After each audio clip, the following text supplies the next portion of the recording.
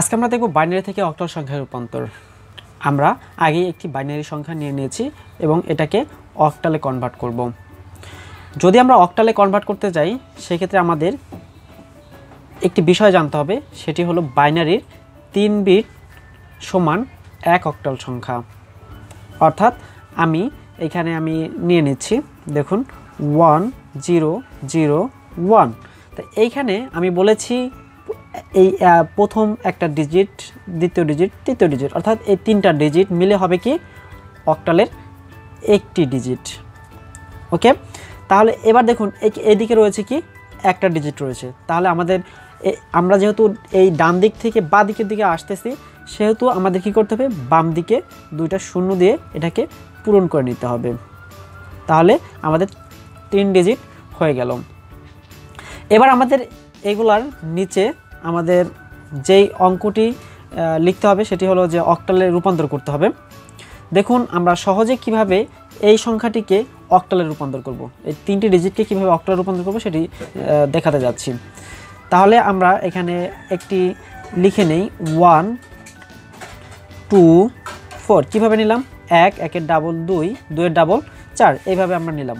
নেওয়ার পরে আমরা এই বাইনারি সংখ্যাটা নিচের দিকে লিখি। এখন আমাদের যেই ডিজিটটায় এক রয়েছে, সেই, সেটি অ্যাক্টিভ রয়েছে। সুতরাং আমাদের এক রয়েছে কোথায়? একের নিচে এক রয়েছে। সুতরাং এটি অ্যাক্টিভ রয়েছে। সুতরাং আমাদের এটির ফলাফল হবে কত? এক। এরপরে যদি আমি শূন্য শূন্য, এক আবার লিখি, তাহলেও আমি দেখতে পাচ্ছি যে আমাদের যেটা নিচে এক থাকবে, সেটি হলো অ্যাক্টিভ রয়েছে। আর বাদ বাকিগুলো কী করব আমরা?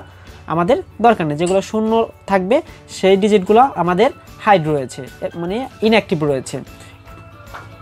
শুধুমাত্র যেই ডিজিটটার নিচে এক থাকবে, সেটি অ্যাক্টিভ থাকবে।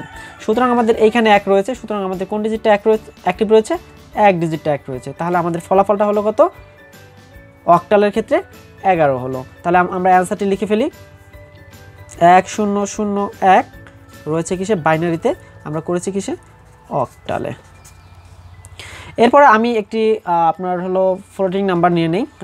একটা উদাহরণ দেখাচ্ছি আর একটা দেখুন এইরকম যদি থাকে, এক এক, শূন্য এক, শূন্য শূন্য, দশমিক।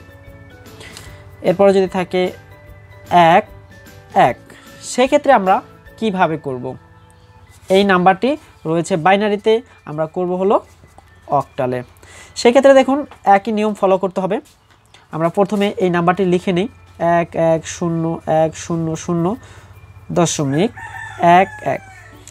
দশমিকের বা দিকে অর্থাৎ এই দিকটা থেকে আমাদের গণনা করতে হবে ডিজিটটা।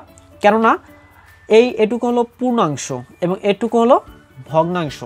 তা সেক্ষেত্রে আমরা ডিজিট এক, দুই, তিন, তাহলে এই তিনটাকে নিয়ে নিলাম। আবার আমরা দেখি গণ- গণনা করি, এক, দুই, তিন, তাহলে এই তিনটাকে নিয়ে নিলাম।